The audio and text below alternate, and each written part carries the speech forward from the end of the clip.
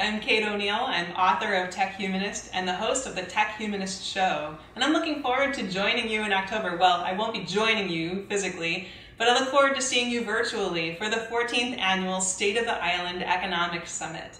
It's going to be a great opportunity to share ideas and resources uh, and to really start thinking about the future of tech and how it shapes the future of humanity. And I know right now there's a lot of uncertainty about the future, but I think we have an opportunity to look at all the possibilities of the future and choose the best path and work toward that. And that's really a lot of the theme that I bring to what I talk about in my keynote about using tech, data and technology to shape the best futures for humanity, not the worst futures.